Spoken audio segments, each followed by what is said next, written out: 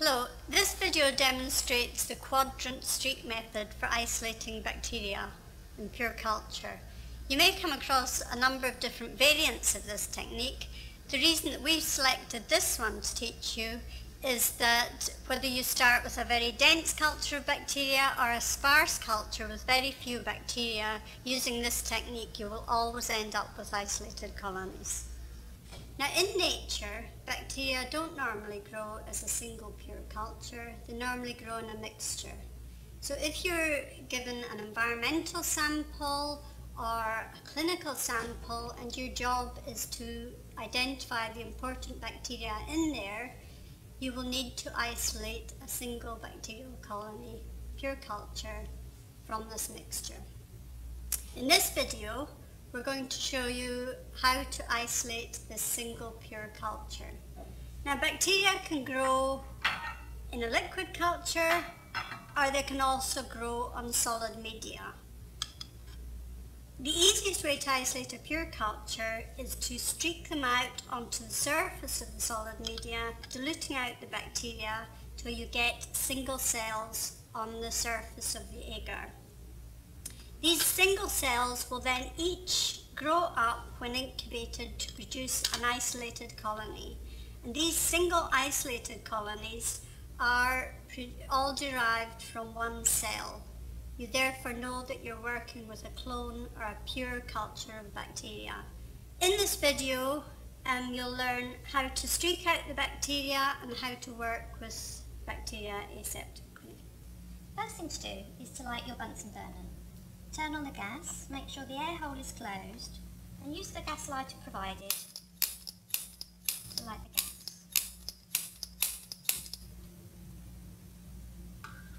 This, when the air hole is closed, the gas and the flame will be cold and yellow. When you want to use it, open the air hole up and you get a nice bright blue cone of gas. Before you start work, the first thing you need to do is sterilise your loop. So pass your loop through the flame, pulling it up through the top of the blue cone until it goes red hot. Remove it from the cone and allow to cool. Do not put it down on the bench. Using your flamed and cooled loop, take a plate and remove an isolated colony from the plate. Place the lid.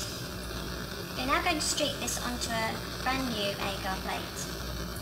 First, you make a primary streak onto the plate. It's important now to flame your loop again. So draw your loop slowly up through the flame to remove any bacteria from it. Cool your loop. If necessary, cool the loop onto the plate, just to make sure it's cool. Then take one streak across the plate from this primary streak Continue with three more streaks below it. It's important now to flame your loop again as before. Cool your loop and repeat this process taking one streak from each of the four across your agar plate. At each point where you rotate the plate you need to cool, flame and cool your loop. By doing this you are diluting the number of bacteria that are on the loop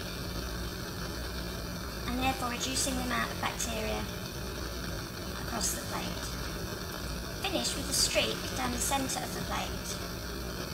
Replace the lid and always finish by flaming your loop to avoid any contamination. To inoculate from the broth culture, use the same technique as before holding the test tube, we remove the cap with a little finger. Make sure you flame the neck of the test tube through the Bunsen burner using your cooled and flamed loop. Remove a dropful, a loopful of bacteria. Place the lid. You then streak this out onto the plate as before, making your primary streak and then flaming your loop. Rotate the plate, pull your loop, take one streak from the primary streak across the plate. Remember to flame when you rotate the plate, Continue streaking across in order to dilute your bacteria. Always flame your loop at the end.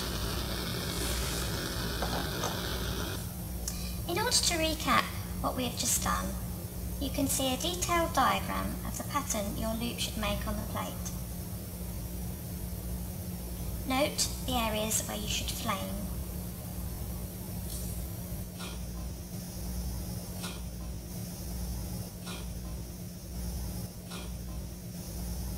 When you've finished streaking your plate, it's important to label it with your initials, the type of media you've used and the date. This will enable you to find your plate in the next practical. Then place your plate ready for incubation inverted into the basket with the appropriate label and temperature. You need to incubate your plates at the appropriate temperature. Think also, do I need culture conditions that are aerobic with oxygen or anaerobic in the absence of oxygen? Remember, your incubation conditions will define which bacteria you recover. We shall then put the plates for you in an incubator for the required length of time. This is normally overnight at 37 degrees C for clinical and mammalian samples and 25 degrees C for several days for environmental samples. Following incubation, you should be able to see single isolated colonies. On this chocolate blood agar plate, you can see different colony morphologies of different bacteria. On this plate you can see the small off-white colonies of Staphylococcus and the larger smooth colonies of E. coli.